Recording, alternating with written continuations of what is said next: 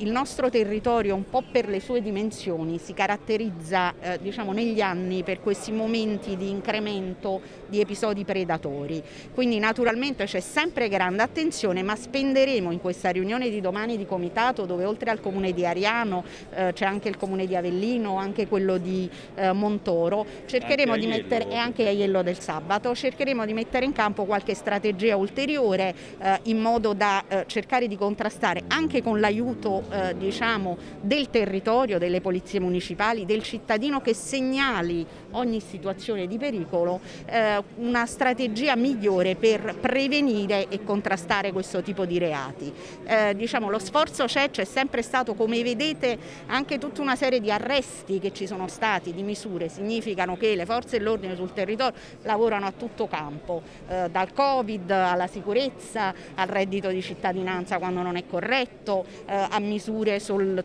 profilo ambientale, quindi lo sforzo è massimo, naturalmente dobbiamo fare ancora di più, quindi vedremo anche in termini di videosorveglianza, Ariano Irpino è destinatario di risorse per un progetto scuole sicure collegato quindi anche allo spaccio di sostanze stupefacenti, alla possibilità di vigilare meglio il territorio in alcune zone e questo naturalmente contribuisce a dare sicurezza, quindi cercheremo domani di mettere a punto delle ulteriori strategie.